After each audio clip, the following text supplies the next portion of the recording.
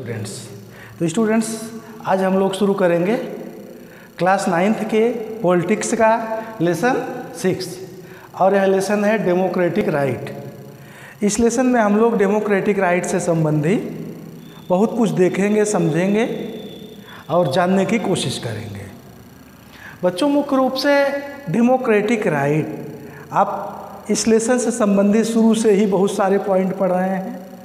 आपका पहला लेसन ही शुरू हुआ था what is democracy why democracy तो डेमोक्रेटिक से ही बहुत कुछ आप शुरू से लेके अंत तक देख रहे हैं तो यहाँ पे कुछ थोड़ा अलग देखेंगे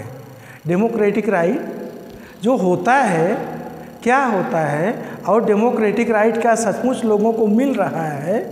like that so many other thing also तो पहले आप हम लोग देखिए क्या देखेंगे life without right right democratic right without right क्या होता है मतलब बिना राइट के जीवन कैसे होगा उसको जानने के लिए हम लोग कुछ एग्जाम्पल देखेंगे क्या prison in Guantanamo Bay Guantanamo Bay एक प्लेस है इस गेंटेनो बे में प्रिजन है वहाँ की क्या स्थिति है कौन है कैसे कंट्रोल दैट एवरीथिंग उसके बाद हम लोग देखेंगे एनमेस्टी एमनेस्टी इंटरनेशनल ये एमनेस्टी इंटरनेशनल एक एन है उसने क्या किया उसको हम लोग समझोगे फिर हम लोग देखेंगे बच्चों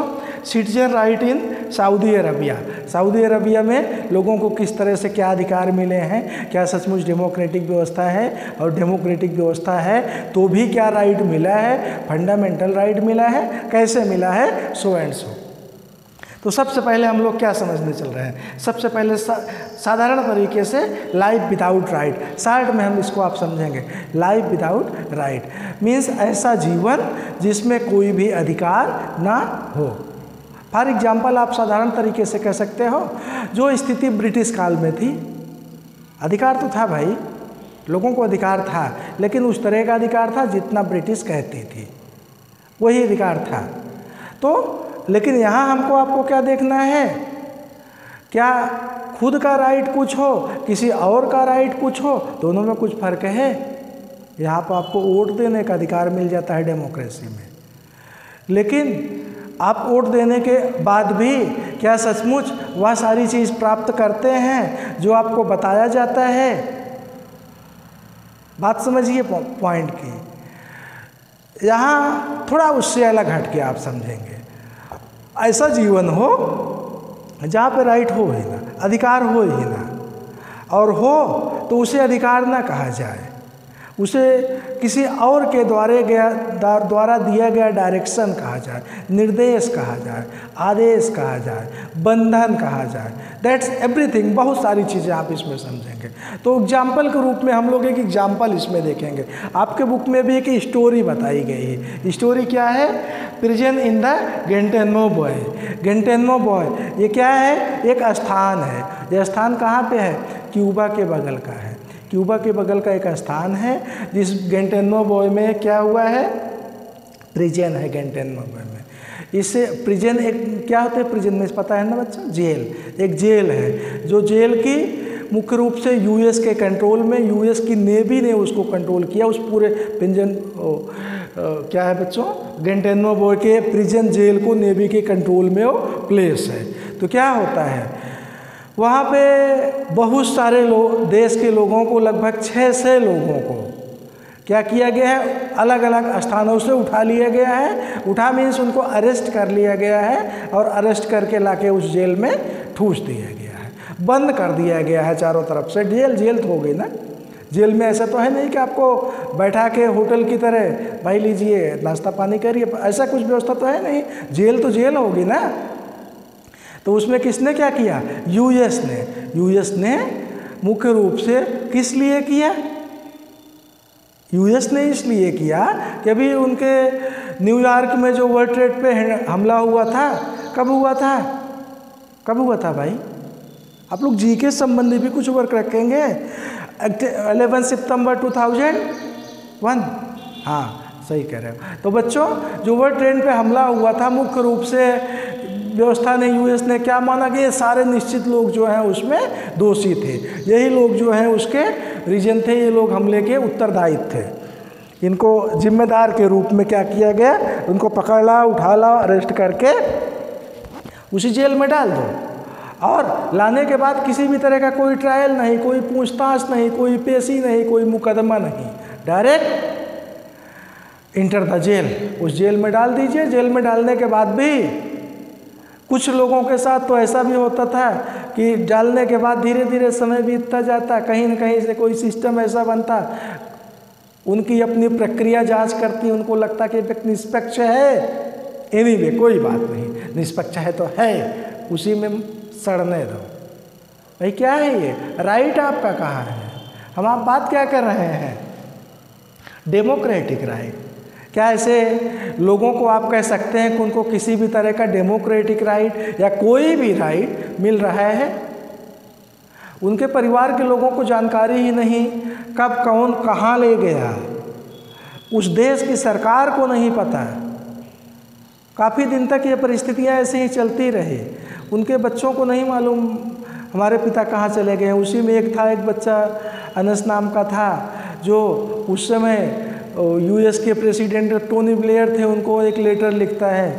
कि my father has been last three years you have use my father in use means हमारे पिता हमारे यहाँ लगभग तीन साल से हमने उनको नहीं देखा है अब आपकी सरकार ने ऐसे प्रिजन में एमनेस्टी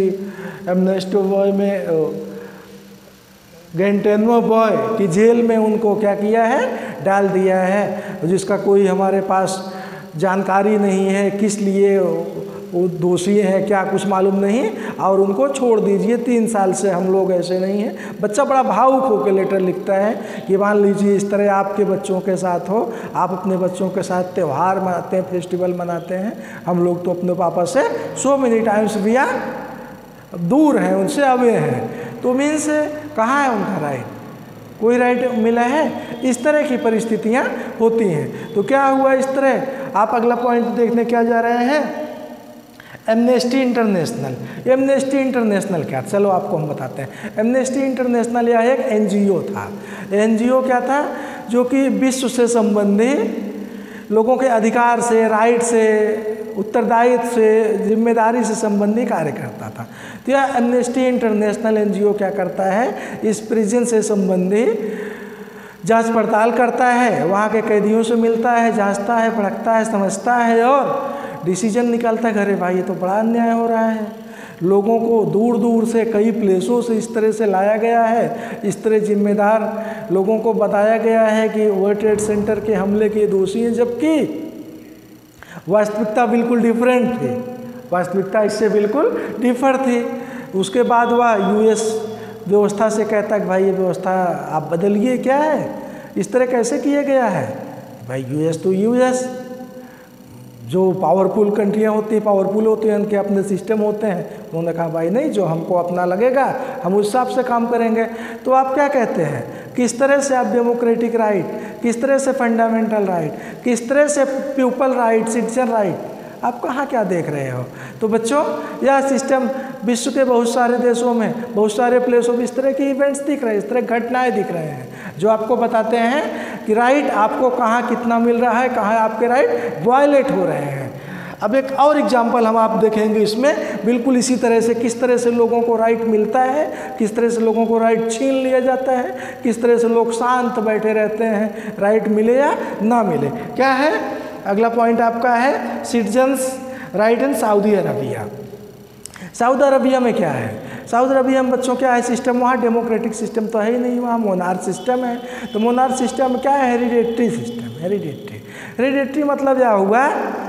कि अगर वहाँ कोई निज़ाम या राजा जिसको आप कह सकते हैं शेख कह सकते हैं बनता है तो उसका बेटा ही जो होगा दोबारा राजा बनेगा आपके यहाँ क्या होगा अगर मान लीजिए कोई एक पीएम बन गया उनके बच्चे को ही कहा जाए यही अगला पीएम बनेगा भाई अगले बार ये इसका बेटा जो होगा वही यहाँ तो देश को अलग अलग स्थानों से गाड़ियाँ जला देंगे पेट्रोल पंप पे आग लगा देंगे आग लगा दें यहाँ बहुत एक्सप्लाइटेशन शुरू हो जाएगा क्या क्योंकि व्यवस्था ही ऐसी यहाँ की अलग है तो क्या हुआ सऊदी अरबिया में ये होता है कि लगातार राजा ही शासन करेगा और उसका बेटा फिर उसके बाद शासन करेगा वो जिस तरह की व्यवस्था चाहेगा जैसा कानून चाहेगा जैसा नियम चाहेगा वैसा बनाएगा उसी तरह से जनता के ऊपर लगाएगा लगाएगा कानून थोपेगा जनता को उस कानून में बांधेगा और क्या है आप देखिए जनता के अधिकार इस तरह वोट से संबंधी कोई मतलब ही नहीं है कहाँ से आप वोट की बात करेंगे भाई जब सारा अधिकार राजा के ही पास है शेख जो वहाँ का है मुस्लिम शासक और धर्म से संबंधी अगर आप चर्चा करें वहाँ पे क्या है धर्म भी निश्चित है कि उनका मुस्लिम धर्म है मुस्लिम धर्म का पालन करने वाले सारे लोग हैं जो अन्य धर्म से संबंधी है वो भी वही धर्म पालन करें और मान लीजिए कोई एक्स्ट्रा है जो उस धर्म से अलग है सेपरेट अपना पालन करना चाहता है तो उसको सेपरेट ही करना पड़ेगा खुले ओपन प्लेस पे कोई अपने धर्म का प्रचार प्रसार प्रोपोगेशन या इस तरह कोई एक्टिविटीज़ नहीं कर सकता तो क्या व्यवस्था है सऊदी अरबिया में आप क्या बात करते हो राइट वहाँ है वहाँ व्यक्ति को डेमोक्रेटिक राइट है या नहीं है किस तरह का है या आपके समय और महिलाओं संबंधी आप बात करते हैं ज़रा वहाँ थोड़ा क्या है बिल्कुल डिफरेंट है अब आपको वो फीलिंग आ रही आ जाएगी अगर आप पढ़े होंगे Indian system in time of the British आप ध्यान से सुनिए वहाँ क्या है महिलाओं के बारे में महिलाओं को अधिकार तो पुरुषों के अधिकार के मुकाबले हाफ दिया गया है क्या है हाफ मतलब यह है मुख्य रूप से जैसे आपके यहाँ क्या है one vote equal to one value हर व्यक्ति के वोट की वैल्यू समान है और चाहे मेल हो फीमेल हो किसी भी धर्म का हो किसी भी कास्ट का हो लेकिन वहाँ क्या है वहाँ एक मेल के प्रमुख राइट और अधिकार जो हैं वो दो फीमेल के बराबर हैं जो अधिकार दो फीमेल को मिला है वो एक मेल को मिला है इक्वलिटी समानता की बात आप करेंगे कैसे समानता भाई वहाँ पे equal to women equal to one man equality what is means of equality ये कहाँ की बात है सऊदी अरबिया तो राइट डेमोक्रेटिक राइट आप देखिए चर्चा करिए आप ही आप कहोगे अरे भाई हो तो क्या है मोनार्क व्यवस्था वहाँ राजा जैसे चाहे वह हाँ बिल्कुल आप सही कह रहे हो राजा जैसे चाहे वैसे करे लेकिन कुछ प्लेस ऐसे भी तो हैं जहाँ पे डेमोक्रेटिक सिस्टम है उसके बाद भी आपको लगेगा अरे डेमोक्रेटिक सिस्टम होने के बाद भी ये क्या चल रहा है कंटिन्यू राइट कहाँ चला जा रहा है तो बच्चों इस तरह की व्यवस्था हम लोग देखते हैं अलग अलग प्लेसों पे अलग अलग क्षेत्र पे अभी हम लोग जस्ट चर्चा करेंगे अगले वीडियो में आपसे बच्चों कि किस तरह से क्या प्लेस है वहाँ पे डेमोक्रेटिक सिस्टम होने के बाद भी क्या चल रहा है तो इस वीडियो में हम लोग ने इन पॉइंट पर चर्चा किया जैसे राइट अगर हम लोग को ना मिले तो जीवन क्या होगा और घंटानोबे में जो प्रिजना वहाँ के लोगों को क्या अधिकार था क्या राइट था था कि नहा था नहीं था एमनेस्टी इंटरनेशनल ने किस तरह का खुलासा किया लोगों को किस तरह से थोड़ा लोगों के इंटरने इंटरनेशनल सहयोग से कहीं न कुछ न कुछ छूट या वहाँ से छूटने की सुविधा मिले और आपने अभी देखा सऊदी अरबिया के बारे में वहाँ लोगों को अधिकार क्या है कैसा है क्या राइट है क्या है that everything so students Take care. Bye students. Be sure we'll meet in other video. So thank you very much all of you.